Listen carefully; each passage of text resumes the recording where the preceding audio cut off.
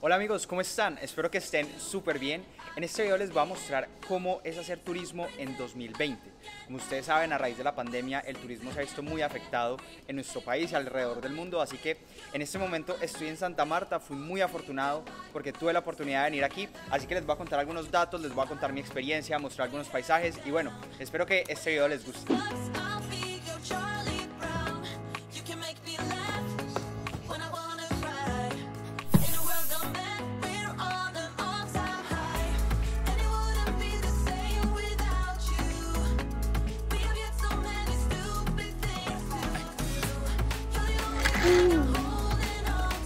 Revisa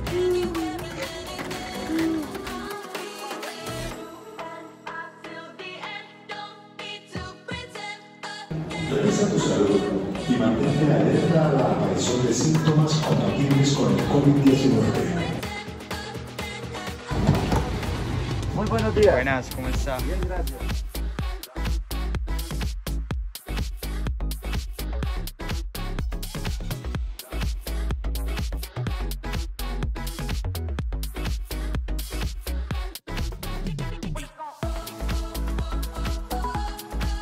Antes de ir al grano del video les voy a contar por qué estoy aquí en Santa Marta. Para las personas que de pronto no lo saben, Santa Marta es una ciudad intermediaria que queda en el norte de Colombia, queda en la costa caribe, como lo pueden ver. Eh, tiene más o menos 500 mil habitantes, no es una ciudad muy grande, pero es una ciudad muy turística. Y vine aquí con mi familia porque hace mucho tiempo teníamos ganas de venir a la playa, pero bueno, como ustedes saben, llegó el COVID, nos dañó los planes a todos, pero ya que el país está comenzando a reactivar, que hay buenas promociones, decidimos venir aquí a Santa Marta a pasar algunos días. Yo sigo en la universidad, pero como todo es virtual, puedo seguir las clases desde acá. Entonces les voy a contar todo, les voy a mostrar un poco los paisajes y nada, espero que les guste. Y si eres nuevo o nueva en mi canal, yo soy Jaco Arias, tengo 20 años y aquí comparto experiencias de aprendizajes con ustedes. Hablo sobre estudios en el exterior, sobre viajes, sobre muchas cosas, sobre libros. Así que si te interesa este tipo de contenido, te invito a que te suscribas en el botoncito rojo. Yo subo video todos los martes para que estés pendiente. Y bueno, continuamos con el video. Bueno, y como les había dicho, en este video también les quiero dar algunos datos sobre el turismo en Colombia. Les quiero dar algunos datos curiosos sobre la ciudad de Santa Marta. No sé si se dieron cuenta, pero el 27 de septiembre, o sea, hace algunos días fue el Día Mundial del Turismo, entonces yo dije, voy a aprovechar que estoy acá para darles algunos datos, de pronto es información que les puede parecer curiosa o simplemente les puede parecer interesante, así que comencemos. Yo creo que es importante mencionar que antes de la pandemia el turismo en Colombia venía creciendo a ritmos agigantados. Por ejemplo, en 2018, que fue un año sin COVID, todos la estábamos pasando muy bien, el turismo aportó 3.8% al PIB colombiano. En 2019 fue incluso mayor. Aquí les voy a dejar un gráfico que muestra las contribuciones de los diferentes sectores productivos a la economía colombiana para que vean que el turismo tiene un papel importante. En este gráfico el turismo está incluido en el comercio, pero para que vean un poco la distribución del PIB colombiano.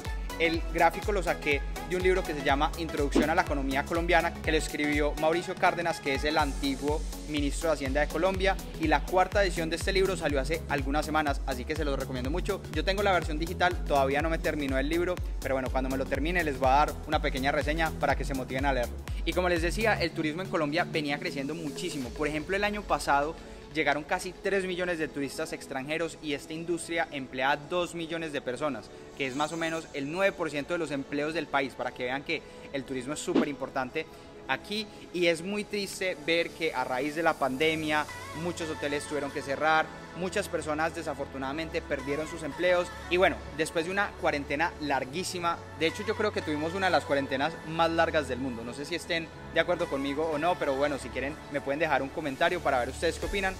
La economía colombiana por fin comenzó a reactivarse, ya los vuelos se reanudaron, los hoteles comenzaron a funcionar, obviamente el aforo está disminuido y en los hoteles cumplen todos los protocolos de bioseguridad, todo se limpia, hay gel antibacterial en cualquier lugar, hay que ponerse el tapabocas en los lugares cerrados. Yo en este momento no lo tengo porque estoy solo literalmente en este piso, pero apenas termine de grabar el video me lo vuelvo a poner. Y nada, por ejemplo en las playas también hay que seguir los protocolos, pero bueno, eso se los voy a mostrar más tarde. Oigan, pero antes de continuar con el video y de mostrarles algunos paisajes, les quería contar algunas cosas que de pronto ustedes no sabían de Santa Marta.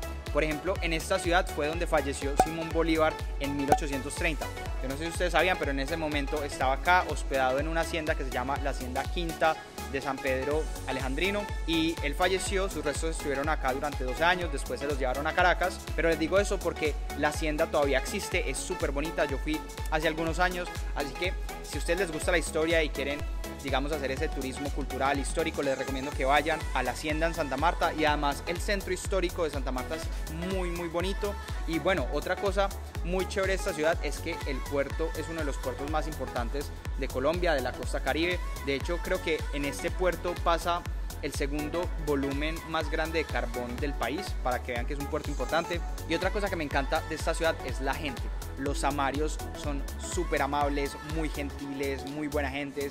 Entonces uno se siente muy bien porque la gente siempre te trata bien, es amable, siempre tienen una sonrisa. Mejor dicho, créanme que esto es un paraíso. Entonces les quería contar esas cosas por si de pronto no lo sabían y en algún momento vienen acá para que lo sepan. Aquí falleció Simón Bolívar, el puerto es importante y la gente es muy buena gente. Entonces ya saben eso.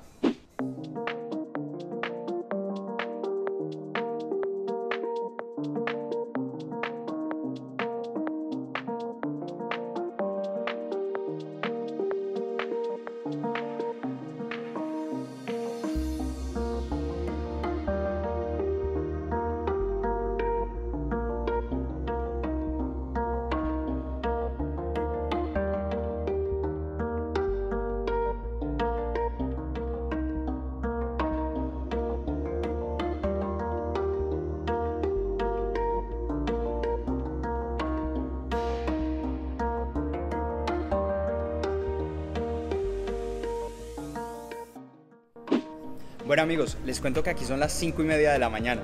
Yo no sé si les había contado, pero desde que comencé la universidad, hace más o menos 3 semanas, me estoy levantando a las 2 y media porque tengo clase de 3 a 5 y después de 5 a 7. Y como tengo 7 horas de diferencia con Francia, que es donde está mi universidad, me toca madrugar y despertarme súper temprano para poder seguir mis clases en vivo. Y bueno, a pesar de que en este momento estoy en Santa Marta con mi familia, de paseo, pasándola súper bien, me sigo levantando a las dos y media para tener mis clases. Yo creo que hay que seguir estudiando, uno no puede perder en mente sus prioridades. Y a pesar de que no tuve café, de que no me pude duchar para obviamente no despertarlos, me fue bien, sobreviví la clase. En Bogotá yo normalmente me ducho antes de la clase, me tomo un café como así de grande. Como pueden ver en este momento todo está cerrado, apenas están abriendo las cosas. Ya está amaneciendo, entonces les voy a mostrar un poco el paisaje y nada, en el futuro les voy a hacer un video sobre cómo es madrugar todos los días a las 3 de la mañana, yo creo que puede ser interesante, lo voy a programar y lo voy a hacer en unas pocas semanas. Pero bueno, ya mismo les voy a mostrar cómo es el amanecer aquí en Santa Marta, así que espero que les guste. Me tocó esperar un rato para que terminara de amanecer, pero miren este paisaje tan bonito aquí. El amanecer se ve espectacular y yo me siento súper afortunado de estar acá porque es una oportunidad súper grande y bueno, como es tan bonito se los quería compartir. El sol normalmente sale por allá al fondo, pero todavía está muy temprano y bueno, pues allá están los barquitos, entonces se los voy a mostrar.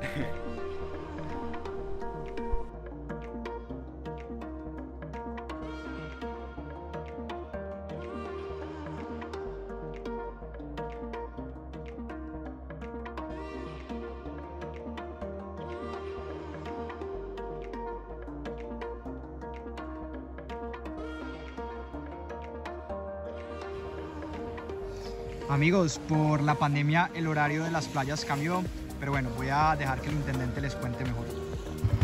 Intendente, ¿cómo está? ¿Cómo van las playas hoy? Bueno, excelente, maravillosamente bien, las personas portándose excelente con la nueva apertura de las playas. ¿Cuáles son los horarios de las playas? Bueno, tenemos unos horarios, hay un decreto de alcaldía, el 243, que habla de horario entre 9 y 12 del mediodía y de 2 a 5 de la tarde. Eh, tenemos un día de generación de playa que es los primeros días hábiles de cada semana, o sea, el lunes o el martes y el puente festivo. Claro, entonces usted patrulla las playas todos los días. Constantemente, pensando que la gente tenga su distanciamiento, tengan el tapaboca, que tengan su distanciamiento social, el tema de la seguridad, el tema de, eh, ambiental que es muy importante en las playas. Intendente, muy amable, muchísimas gracias, la pasamos muy bien y gracias por cuidarnos acá. Con todo el gusto. Bueno, se cuida. Sí, señor. Hasta luego.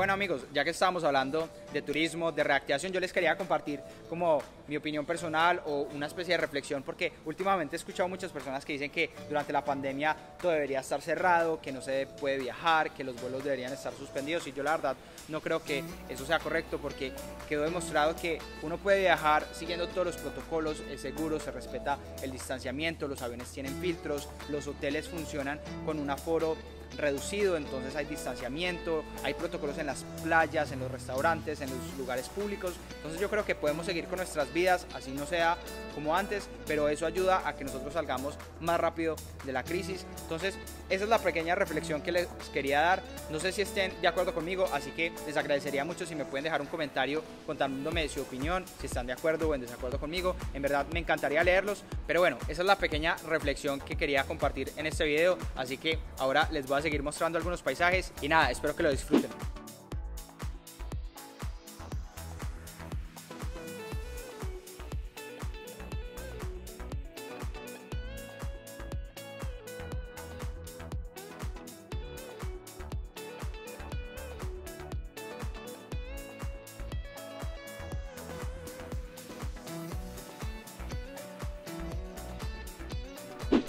Bueno amigos, espero que les haya gustado el video, que hayan aprendido algo. Aquí intenté mezclar algunos datos oficiales con mi experiencia, algunas reflexiones, así que espero que hayan disfrutado el video.